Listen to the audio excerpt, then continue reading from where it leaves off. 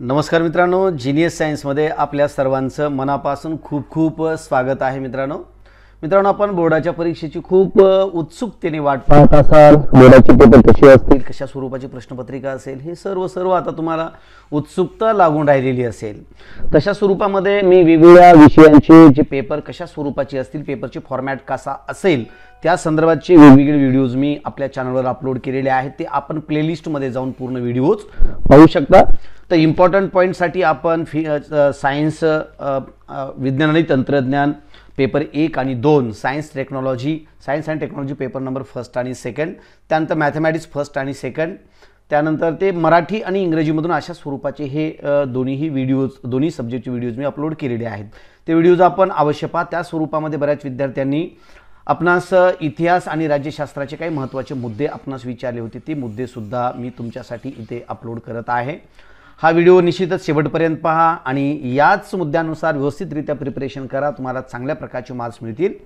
मी आवर्जून सांगतो मित्रांनो मी विज्ञानाचा शिक्षक आहे फिजिक्स केमिस्ट्री बायोलॉजी यांचं मी सविस्तररित्या माहिती तुम्हाला देऊ शकतो. मी त्यामध्ये एक्सपर्ट आहे. परंतु मॅथमॅटिक्स असेल किंवा इतर विषयाचे असतील तर ते मात्र पॉईंट्स मी तुम्हाला एक्सपर्ट टीचरकडनं घेऊन ही पॉईंट देत आहे. तर या विषयाचे एक्सपर्ट्स आहेत माझे मित्र डॉक्टर जाधव सर उदगीर तालुक्यामध्ये लातूर जिल्ह्यामध्ये उदगीर तालुक्यामध्ये एका नामांकित शाळेमध्ये ते काम करतात. शिक्षक आहेत. तर अशा तज्ज्ञ शिक्षकाकडनं मी हे पॉईंट तुमच्यासाठी मी देत आहे. चॅनलला सबस्क्राईब करा बेल ऐकॉन दाबा आणि हा व्हिडिओ आपणास कसा वाटला ते निश्चितच कमेंट करून सांगायला मात्र विसरू नका. आणि हो या व्हिडिओची पूर्ण लिंक आपल्या मित्रांपर्यंत मात्र पोहोचवायला मुळेच विसरू नका कारण का यामधले पॉईंट्स तुम्हाला तर उपयोगाला असतीलच असतील. परंतु आपल्या सर्व मित्रांना उपयोगी पडावे यासाठी आपण हे पॉईंट्स तुमच्या मित्रांपर्यंत निश्चितच पोहोचवायला विसरू नका कारण का चांगल्या बाबी आपण सर्वांसोबत शेअर करत असतो. चला तर जाणून घेऊया मित्रांनो फर्स्ट चॅप्टर कोणतं आहे प्रकरण पहिलं? इतिहास लेखन व पाश्चात्य परंपरा. या संदर्भात जे काही पॉईंट्स आहेत ते पॉईंट कोणते कोणते आहेत पा या सर्व पॉईंटचा आपण अभ्यास करू शकता मित्रांनो. या व्हिडिओची स्क्रीनशॉट घ्या पेज वाईज किंवा तुमच्याकडे जे पुस्तक आहे त्या पुस्तकामध्ये हे पॉईंट टिक मार्क करून घ्या. आणि जे मराठी मीडियमचे जे इंग्लिश मीडियमचे मुलं असतील जे विद्यार्थी असतील त्या विद्यार्थ्यांनी मात्र इंग्रजी मीडियमचं आपलं जे काय माध्यमाचं पुस्तक असेल ते पुस्तक काढा. आणि हे पॉईंट्स त्या आपल्या पुस्तकामध्ये निश्चितच पॉईंट आऊट करा टिक मार्क करा. आणि त्या पद्धतीने तयारी करा किंवा कागदावर लिहून घ्या मित्रांनो. तर इतिहास लेखनाची पाश्चात्य परंपरा. पाश्चात्य परंपराचे कोणत्या कोणत्या आहेत? इतिहास लेखनाच्या ती मुद्दे घ्या. युरोपमधील महत्त्वाचे इतिहासकार युरोप देशामध्ये जसे भारतामध्ये सुद्धा वेगवेगळे इतिहासकार होऊन गेले तशा स्वरूपाचे इतिहासकार युरोपमध्ये सुद्धा झालेले आहेत. मग यापैकी एक्झाम्पल दिलं रेने देकात असेल कार्ल मार्क्स असेल मायकेल फुको असेल लिओपोलर्ड वॅन रांके असेल त्यानंतर Georg Frederick Fred Frederick Hegel असेल हे सर्व मित्रांनो पॉलिटिकल सायन्समध्ये सुद्धा यांचा अभ्यास आहे. म्हणजे जे की तुम्ही M P S C U P S सीसाठी जर प्रिपरेशन करत असाल तर फ्रेडरिक हेगल हा विचारवंत म्हणून त्या ठिकाणी अभ्यासाला आहे राज्यशास्त्रासाठी. त्यानंतर तिसरा पॉईंट महत्त्वाचा आहे आणि तो म्हणजे स्त्रीवादी इतिहास लेखन. मित्रांनो इतिहास हा विषय माझ्या खूप खूप आवडीचा आहे. कारण का आज जरी विज्ञान असेल तर भविष्य काळामध्ये त्याचा इतिहासच होत असतो. म्हणून इतिहास हा प्रत्येक इतिहासाशी संबंधित आहे. म्हणून मला खूप इतिहास आवडतो. मी जवळजवळ इतिहासाचा बऱ्याच जगातील बऱ्याच देशांच्या इतिहासाचा मी अभ्यास केलेला आहे वाचन केलेलं आहे. आणि विशेष म्हणजे आपण जे तुम्ही दहावीचा जो अभ्यासक्रम अभ्यासात आहात या अभ्यासक्रमामध्ये इतिहासासंदर्भात मी बरेच व्हिडिओज तयार केलेले आहेत आणि ते आपल्या दीक्षा ॲपमध्ये तुमच्या पुस्तकातील क्यू आर कोडला ते जोडलेले आहेत. त्यापैकी संविधानाची वाटचाल असेल त्यानंतर पर्यटन आणि परंपरा असेल तर अशा स्वरूपाचे काही पर्यटनाच्या परंपरा हे व्हिडिओज मी तिथं बनवलेले आहेत. तुम्ही क्यू आर कोड स्कॅन करून निश्चितच मी बनवलेले व्हिडिओज आपण पाहू शकता. M S C R T M S C E R T यांनी एक स्पेशल लोकांना बोलवून म- तज्ज्ञ किंवा ज्यांना की या क्षेत्राशी नॉलेज आहे व्हिडिओ निर्मितीच्या अशा लोकांना बोलून शिक्षकांना बोलून व्हिडिओज तयार करून करून आपल्या क्यू आर कोडला जोडलेले त्यामध्ये महा मी सुद्धा बनवलेला व्हिडिओ आहे तो आपण पाहू शकता. त्यानंतर अनलास प्रणाली असेल ही तर सुद्धा प्रणालीचा आपण अभ्यास करा.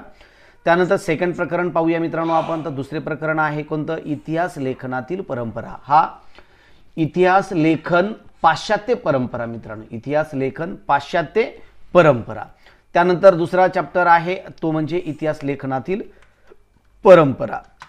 आता कोणते पॉईंट? आधुनिक काळातील इतिहास लेखन त्यानंतर अलेक्झांडर कॅनिंगहॅम असेल जॉन मार्शल असेल जेम्स मिल असेल यांचासुद्धा स्पेशली अभ्यास आहे जेम्स मिलचासुद्धा एम पी एस सीसाठी यू पी एस सीसाठी वसाहतवादी इतिहास लेखन वसाहतवादी इतिहास लेखन. त्यानंतर पुढचा आहे प्राच्यवादी इतिहास लेखन. पुढचा आहे राष्ट्रवादी इतिहास लेखन त्यानंतर नेक्स्ट आहे मार्क्सवादी इतिहास लेखन आणि पुढचा आहे वंचितांचा इतिहास आणि स्त्रीवादी इतिहास लेखन.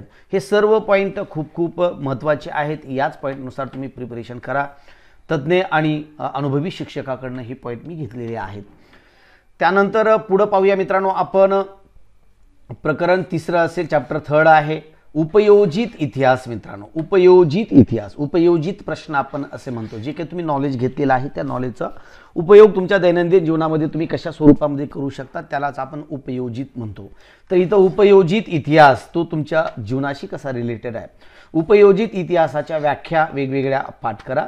त्यानंतर उपयोजित इतिहास. आता वास्तविक सांगायचं म्हणजे मित्रांनो पाठांतर कोणत्याच गोष्टीचं करायचं नसतं. मी एक शब्द तुम्हाला आता पाठ करा म्हटलं. तर पाठ नका करू समजून घ्या. परफेक्टरित्या समजून घ्या. उपयोजित इतिहास व अन्य विषयांचा सहसंबंध को रिलेशन म्हणतो आपण याला.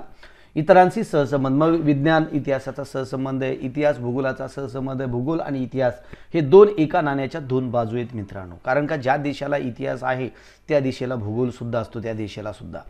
म्हणून इतर विषयातील संशोधन मग विज्ञानाचा असेल भूगोलाचा असेल मॅथमॅटिक्सचा असेल कोणत्या विषय समाजशास्त्राचा असेल त्यांच्या संदर्भात इथं माहिती आहे.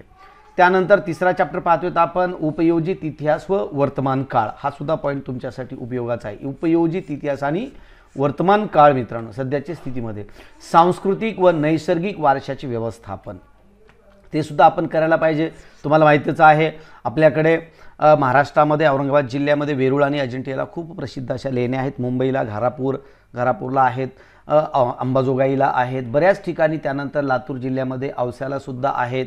अशा वेगवेगळ्या ठिकाणी लेण्या आहेत. तो सुद्धा आपला सांस्कृतिक वारसा आहे मित्रांनो.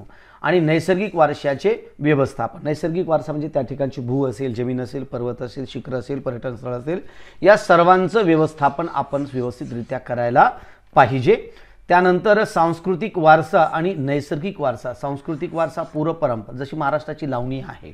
ओके त्यानंतर प्रत्येक राज्याचा वेगवेगळा नृत्य प्रकार असेल किंवा खेळ प्रकार असेल त्याला आपण सांस्कृतिक वारसा असे म्हणतो आणि नैसर्गिक वारसा मी तुम्हाला आत्ताच सांगितलेला आहे. निसर्ग असेल त्या ठिकाणची झाडं असतील त्या ठिकाणचे पाणी असेल नद्या असतील नाल्या असतील मंदिरं असतील या सर्व गोष्टींचा त्यामध्ये एक नैसर्गिक म्हटल्याच्या नंतर निसर्गाने दिलेल्या गोष्टींचा वारसा आपण तो जपणे. त्यानंतर चौथं प्रकरण आहे मित्रांनो भारतीय कलांचा इतिहास. आता भारतामध्ये कोणत्या कोणत्या कला आहेत ह्या तुम्हाला सांगायची आवश्यकता नाही. तुम्ही इतिहासाचा अभ्यास करत आहेत केला आहेत आणि करणार आहेत. ओके?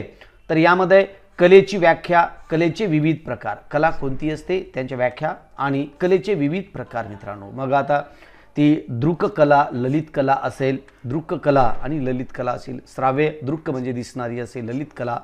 ओके त्यानंतर लोककला अभिजात कला लोककला म्हटलं त्या त्या राज्याची कला असते. कला शैली आहे. त्यानंतर पुढचा भारतातील ललित कला परंपरा. भारतामध्ये ज्या काही ललित कला आहेत त्यांच्या परंपरा भारतातील कला व व्यवसायाच्या संधी. आता कला आणि व्यवसायाच्या संधी म्हणतो मित्रांनो आपण. तर एखादा नृत्य प्रकार असेल त्या नृत्य प्रकाराशी संबंधित असणारे कपड्यांचा व्यवसाय करणे तयार करणे विकणे हा सुद्धा त्याशी संबंधित येणारा हा भाग आहे. त्यानंतर आपण याच इतिहासामधून महत्त्वाचा प्रकरण म्हणजे पाचवं प्रकरण पाहूया. प्रसार माध्यमे व इतिहास. प्रसार माध्यम व इतिहास. यामध्ये प्रसार माध्यमांचा इतिहास. आता पूर्वी जर पाहिला आपण तर मित्रांनो कम्युनिकेशन या संदर्भात एक मी व्हिडिओ आपल्या चॅनलवर अपलोड केलेला आहे की कम्युनिकेशन कशा स्वरूपानं पूर्वी होत असे. पूर्वी एखादा व्यक्ती एका ठिकाणून दुसऱ्या ठिकाणी जात असेल किंवा कबुतराच्या माध्यमामधून एका ठिकाणी दुसऱ्या ठिकाणी मेसेज दिला जात असे त्यानंतर मित्रांनो व्यक्ती जात असे व्यक्ती मेसेज देत असे एका राजाकडून दुसऱ्या राजाकडे तो खलिता घेऊन जात असे. त्यानंतर पुन्हा टेलिफोन आला मित्रांनो त्यानंतर पुन्हा मोबाईल मोबाईलच्या अगोदर एक पेजर आला मेसेज देणारा घेणारा त्यानंतर पुन्हा मोबाईल आला. म्हणजे टेलिफोनच्या नंतर मोबाईल मे पेजर मोबाईल मोबाईलच्या नंतर इंटरनेट आज आपण जर परिस्थिती पाहिली तर आज जगाच्या कानाकोपऱ्यातून कुठेही जर व्यक्ती असेल तर तुमच्या हातातील मोबाईलच्या आधारे आपण त्या व्यक्तीशी बोलू शकतो. फक्त एकच आहे की तिथं घडणारी एखादी वस्तू असेल तर त्या वस्तूचा स्मेल आणि चव आज आपण घेऊ शकत नाहीत. पण भविष्य काळामध्ये सुद्धा इंटरनेटच्या आधारे ही गोष्ट शक्य होणार आहे. कारण का समोरच्या वस्तूमध्ये कोणत्या स्वरूपाचा सुगंध येत आहे तो सुगंध तो घेईल. कम्प्युटर सेन्सेशनच्या आधारे सेन्सरच्या आधारे तो डिटेक्ट करेल. आणि तशा स्वरूपाचे सेन्सर जे काय ते सेंट असतील ते सेंट इकडे जसं प्रिंटरच्या आधारे आपण प्रिंट काढतो तशा स्वरूपामध्ये तिकडे सेंटसुद्धा बाहेर सोडला जाईल किंवा बाहेर येईल. एखाद्या बॉटलमधून एका प्रिंटरमधून जसा पेज बाहेर येतो प्रिंट होऊन तशा स्वरूपामध्ये तिथे तो सेंट मिळेल. पण प्रत्यक्षामध्ये वस्तू खायला मिळणार नाही एवढं लक्षात घ्या. भविष्यकाळामध्ये येणाऱ्या बाबी आहेत त्या त्यानंतर सेकंड पॉईंट प्रसार माध्यमाची आवश्यकता किंवा गरज. प्रसारमाध्यमाची आज खूप गरज आहे. आज खूप फास्ट जग झालेलं आहे. प्रसारमाध्यम व व्यवसायाच्या संधी. आज आपण बरेच चित्रकार बघतो बरेच वार्ताहार बघत असतो रिपोर्टर पाहत असतो किंवा टी व्ही निर्माण करणे असेल चित्रकला म्हणजे वेगवेगळ्या स्वरूपामध्ये प्रसारमाध्यमाच्या आधारे कित्येक संधी आहेत त्यामधून व्यवसाय आपण करू शकतो. पेपर वाटणे असेल किंवा टी व्ही दुरुस्ती असेल इंटरनेटचं कनेक्शन असेल हे प्रसारमाध्यम आहेत मित्रांनो. प्रकरण आहे सहावं मनोरंजनाची माध्यमे व इतिहास. आता मनोरंजनाची माध्यमे जर पाहिलं आपण तर कीर्तन असेल आहेत पुढं आता बा. मनोरंजनाचे प्रकार कोणते कोणते आहेत ते सुद्धा आपण पाठ करा. लोकनाट्य असेल पोवाडे असेल. मित्रांनो चॅनल सबस्क्राईब केलं नसेल तर चॅनल सबस्क्राईब करा. जिनियस सायन्स हे चॅनल आहे. एक मराठी चॅनल आहे आणि दुसरं मात्र हिंदी चॅनल आहे मित्रांनो. तर हिंदी विद्यार्थ्यांच्या रिक्वेस्टमुळे हिंदीमधून व्हिडिओज वगैरे पोस्ट करण्यासाठी मी त्यांच्यासाठी हे बनवलेलं आहे. तर निश्चितच तिथेसुद्धा आपण हे व्हिडिओज पाहू शकता. त्यानंतर मराठी रंगभूमी. ओके आणि हे पॉईंट आपण मराठी मीडियम किंवा इंग्लिश मीडियम हिंदी मीडियमची मुलंसुद्धा तिथे आपण टिक मार्क करून घेऊ शकता. उर्दू माध्यमाच्या विद्यार्थ्यांनीसुद्धा हेच प्रश्न करायला हरकत नाही. मराठी रंगभूमी म्हटलं मित्रांनो. तर मराठी रंगभूमी असेल मग यामध्ये मनोरंजनाच्या प्रकारमध्ये लोकनाट्य असेल पोवाडे कीर्तन तमाशा चित्रपट हे सांगितले तुम्हाला मी. ओके मराठी रंगभूमी जे नाटक वगैरे असतात ते. भारतीय चित्रपटसृष्टी मित्रांनो भारतामध्ये चित्रपटाची सुरुवातच मुळामध्ये महाराष्ट्रात झालेली आहे. दादासाहेब फाळके यांनी सुरुवात केली ओके? आणि आज त्यांच्या नावे सर्वोत्कृष्ट पुरस्कारात पुरस्कार चित्रपट क्षेत्रातल्या व्यक्तीला दिला जातो. त्यानंतर प्रकरण सातवे आहे खेळ आणि इतिहास. या संदर्भात सुद्धा माझ्या मित्रांनी एक व्हिडिओ बनवलेला आहे आणि तो क्यू आर कोडला जोडलेला आहे. ओके? तर तो क्यू आर कोडचा व्हिडिओसुद्धा तुम्ही पाहू शकता. खेळ व खेळाचे महत्त्व खेळाचे प्रकार त्यानंतर बैठे खेळ मैदानी खेळ असतील हे वेगवेगळे प्रकार आहे. इंडोर आउटडोअर म्हणतो आपण याला. खेळाचे आंतरराष्ट्रीयकरण असेल खेळाचे आंतरराष्ट्रीयकरण म्हटलं आहे आंतरराष्ट्रीय संदर्भामध्ये आपण पाहतो वेगवेगळे खेळ खेळण्यासाठी आपण ऑलिम्पिक वगैरे आहेत. त्यामध्ये सर्व आपल्या देशाचे खेळाडू जातात तिथं यश संपादन करतात येतात. त्यांचा खूप आदर सत्कार होत असतो. तसं तुम्ही सुद्धा करू शकता. मेहनत घ्या. खेळामध्ये सुद्धा प्रावीण्य आपण मिळवू शकता. खेळ आणि व्यवसायाच्या संधी. इथे सुद्धा व्यवसाय खूप स्वरूपामध्ये करता येत असतो मित्रांनो. आता यानंतरचा पुढचा पॉईंट आपण यामध्ये पाहूया. प्रकरण आठवे आहे. पर्यटन आणि इतिहास यामध्ये मी व्हिडिओ बनवलेला आहे. तो सुद्धा पाहू शकता. पर्यटनाची व्याख्या असेल. पर्यटनाची परंपरा पर्यटनाचे प्रकार पर्यटनाच्या परंपरेवर मी व्हिडिओ बनवलेला आहे. तो सुद्धा क्यू आर कोडला स्कॅन करून आपण पाहू शकता. पर्यटनाचे प्रकार आहेत. त्यानंतर ऐतिहासिक स्थळे त्यांचं संवर्धन असेल. किल्ले वगैरे असतील. जसं आपण देवगिरीचा किल्ला म्हणतो औरंगाबादचा असेल किंवा पश्चिम महाराष्ट्रामध्ये पश्चिम महाराष्ट्रामध्ये भरपूर सातारा जिल्ह्यामध्ये असेल सांगली सातारा असेल खूप खूप प्रकार किल्ले आहेत. ते किल्लेसुद्धा हे ऐतिहासिक स्थळे आणि त्यांच्या संवर्धनामध्ये येतो हा मुद्दा. पर्यटन व व्यवसायाच्या संधी. पर्यटन म्हटल्याच्यानंतर तिथे व्यवसाय आलाच मित्रांनो. मग तिथं वेगवेगळ्या प्रकारचे कोल्ड्रिंक्स असो पाणी असो विकणे खाण्याचे पदार्थ विकणे ओके हे सर्व ट्रान्सपोर्टिंगसुद्धा त्यामध्ये येऊ शकतं. प्रकरण नव्हे ऐतिहासिक ठेव्यांचे जतन. आता ऐतिहासिक ठेव्यांचे जतन म्हणजे आत्ताच तुम्हाला सांगितलं औरंगाबादला पवनचेक पानचक्की आहे. बिविका मकबारा आहे औरंगजेबाची कबर आहे दौलताबादचा किल्ला आहे हे झालं औरंगाबाद जिल्ह्यामध्ये सांगतो आपण. आपण जर पश्चिम महाराष्ट्रामध्ये जर पाहिला तर आपण वेगवेगळ्या ठिकाणी शिवाजी महाराजांनी वेगवेगळे जे काही शिवनेरी किल्ला असेल रायगड असेल राजगड असेल जे काही किल्ले बांधलेले आहेत त्या किल्ले सुद्धा सुद्धा त्यामध्येच येतात साधनांचे ऐतिहासिक साधनांचे प्रकार मित्रांनो. मग यामध्ये लिखित साधने भौतिक साधने आणि मौखिक साधने. ओके? त्यानंतर ऐतिहासिक साधनांचे जतन. पुढं ऐतिहासिक साधनांचा संग्रहालय त्यानंतर एक ग्रंथालय आणि अभिलेख लेखागार ओके? त्यानंतर पुढं कोश व कोशांचे प्रकार त्यानंतर पुढचा कोश व इतिहास संबंध हे पॉईंट्स मी तुम्हाला दिलेले आहेत. यामधून आपण टेन पर्सेंट पॉईंट ओमिट करू शकता वगळू शकता मित्रांनो. परंतु पूर्णला पूर्ण जर शंभर टक्के जर पॉईंट जर तुम्ही जर क्लिअर केला तर यामध्ये तुम्हाला शंभर टक्के मार्क्सपासून कोणीच रोखू शकणार नाही याची मला खात्री आहे. कारण का माझे हे पॉईंट देणारे जे मित्र आहेत ते खूप खात्रीचे आहेत. खूप अभ्यासू आहेत ते या संदर्भात.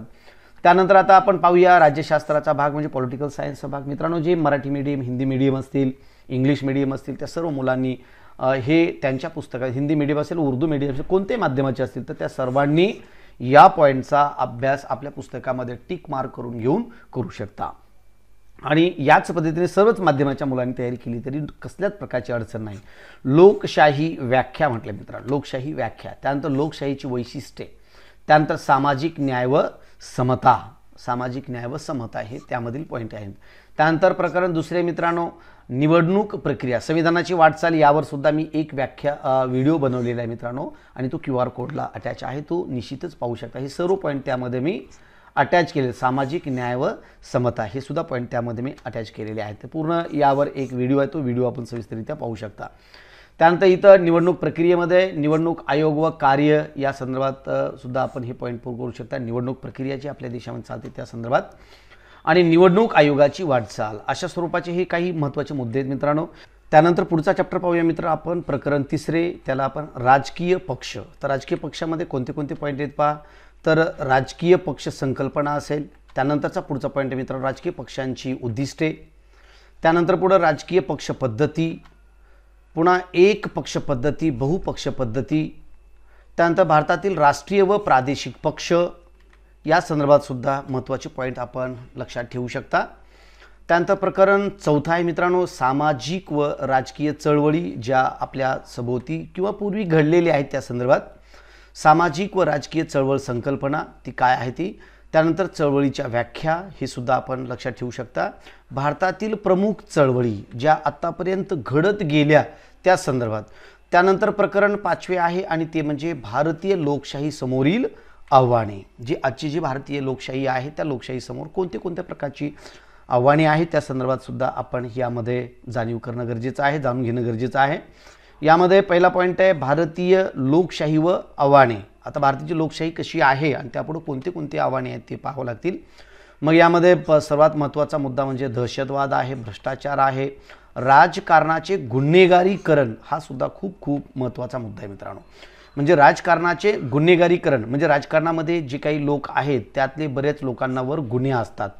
आणि ज्यांच्या अंगावर गुन्हे दाखल आहे ज्यांच्या नावे गुन्हे दाखल आहेत अशा लोकांना राजकारणामध्ये प्रवेश देऊ नये.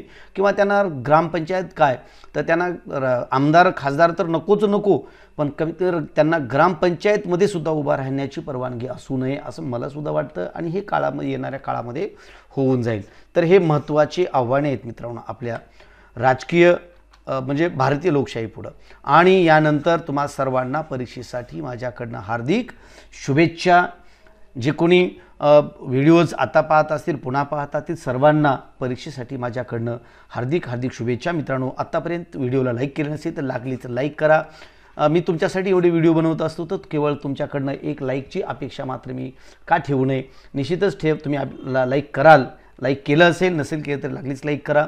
कॉमेंट करा. व्हिडिओ कसा वाटला ते मला सांगायला विसरू नका. आणि आपल्या मित्रांपर्यंत या व्हिडिओची लिंक मात्र पोहोचवायला विसरू नका.